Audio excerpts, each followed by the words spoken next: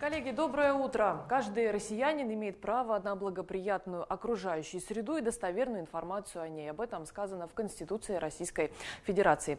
Керченский полуостров является уникальной территорией. Он омывается сразу двумя морями, Черным и Азовским. Здесь степь соседствует с горным массивом. О том, как сохранить уникальную флору и фауну восточного региона, а также о том, какие коррективы могли бы внести керченские экологи в Конституцию, нам сегодня расскажет Наталья Сытник, кандидат биологических наук, доцент кафедры экологии моря Керченского государственного морского технологического университета. Наталья, доброе утро. Доброе утро, Дарья. Доброе утро, крымчане. Одной из актуальных проблем современности является проблема реализации экологических прав человека.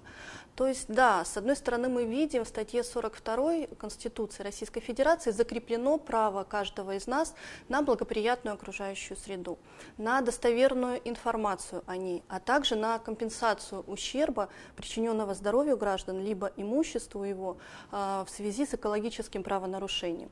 Однако реалии таковы, что ежегодно ущерб, наносимый окружающей природной среде, э, приводит к тому, что природные системы теряют способность к самовосстановлению. А, количественные запасы природных ресурсов ежегодно истощаются. Ну а если говорить о качественных параметрах окружающей среды, то а, она действительно деградирует.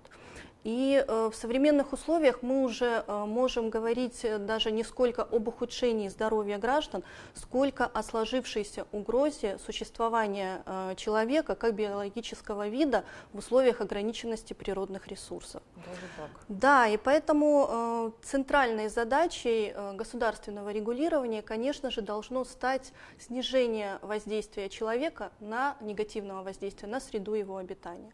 То есть здесь, конечно же, нельзя сказать, что государство ничего не предпринимает, отнюдь. То есть идет активное реформирование природоохранного законодательства, которое мы наблюдаем э, в последние годы. Но, однако, к сожалению, существенных результатов мы пока не видим. Проблем, по сути, очень много экологического характера. Но с учетом ограниченного времени прямого эфира, я хотела бы акцентировать внимание на наиболее насущной, свойственной не только Республике Крым, но и в целом каждому субъекту РФ. Э, это проблема образования отходов производства и потребления. Э, проблема является достаточно болезненной для нашей республики, поскольку на территории полуострова отсутствуют перерабатывающие предприятия, отходы. А, полигоны переполнены, сортировка затруднена, и как следствие мы видим рост количества несанкционированных свалок. Вместе с тем, а, система селективного сбора позволила бы решить две ключевые проблемы. Это снизить объемы образования отходов и значительно сэкономить природные ресурсы.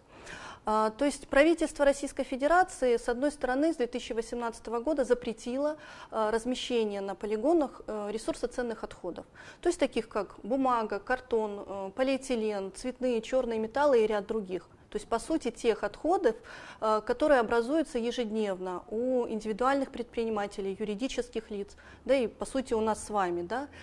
А, но, к сожалению, по сей день в Республике Крым а, раздельный сбор затруднен. То есть вот эта система, она достаточно инертна.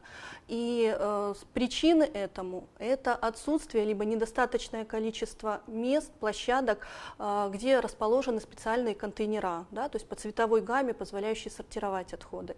Малое количество пунктов приема вторичного сырья.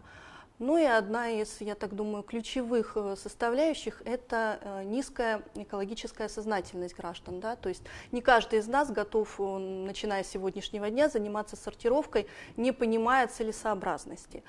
И в связи с этим я считаю достаточно актуальным в настоящее время это экологическое просвещение граждан, да, то есть доведение информации, почему э, данная ситуация является серьезной и как ее можно а решить. А в какой форме можно проводить такое экологическое просвещение, как вы считаете? А, различные формы, это и проведение э, семинаров. Э, здесь вот я тоже хотела бы продолжить, это и экологическое образование, которое с одной стороны предусмотрено в рамках седьмого федерального закона, но вот здесь, мне кажется, нужно было бы расширить. И вот еще один такой момент, это экологическое воспитание подрастающего поколения.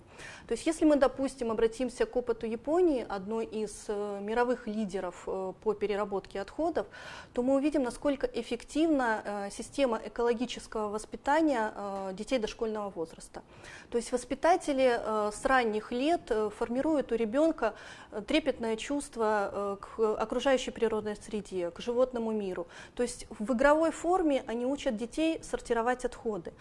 А ведь если мы обратимся к исследованиям психолого-педагогического характера, то есть мы поймем, что шестилетний возраст – это как раз-таки та ключевая точка, тот э, возраст, который формирует э, нравственные ориентиры ребенка. И вот здесь, конечно же, не только экологическое воспитание, да, и ряд других э, моментов можно было бы искоренить в будущем.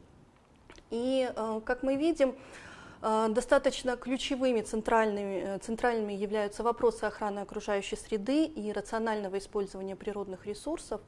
И, на мой взгляд, э, необходимо дополнить конституционное право граждан на благоприятную окружающую среду, то есть некоторое такое абстрактное понятие, да, более конкретными формулировками. То есть, например, сохранение, рациональное использование природных ресурсов посредством извлечения ресурсоценных отходов с последующей их переработкой.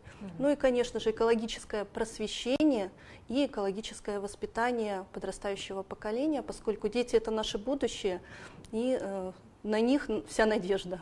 Стоит ли, может быть, именно как-то в разрезе школы вот проводить такое экологическое воспитание, чтобы на уроках детям рассказывали о том, что природу очень важно беречь и сохранять? Как да, конечно. То есть, с одной стороны, экологизация, то есть э, проникновение э, эко экологии во все сферы знаний, она на сегодняшний день наблюдается. С одной стороны, учебной программой предусмотрены, да, то есть э, ряд дисциплин, доводится информация, но вопрос, как она преподносится, да, то то есть и здесь инновационные формы обучения опять-таки обратимся к опыту Японии, наглядные, понимаете, то есть когда не просто дети готовят рефераты и выступают с ними, это достаточно скучно, да, а опять-таки все те же э, игровые формы, наглядные mm-hmm. формы, э, они могли бы дать ощутимый результат. Хорошо, Наталья, спасибо большое за эту полезную информацию. Я надеюсь, что при принятии поправок в 42-ю статью Конституции она обязательно пригодится и будет важной и полезной. Я напоминаю, коллеги, что у нас сегодня в студии была Наталья Сыть, Сытник, доцент кафедры экологии моря Керченского государственного морского технологического университета. На этом у меня все. Я передаю вам слово. Большое спасибо, Даша, за познавательную информацию. Желаем вам отличного настроения и только добрых новостей. Ну а нашим телезрителям напоминаю, что на связи была Керчь и корреспондент телерадиокомпании «Крым» Дарья Зимина.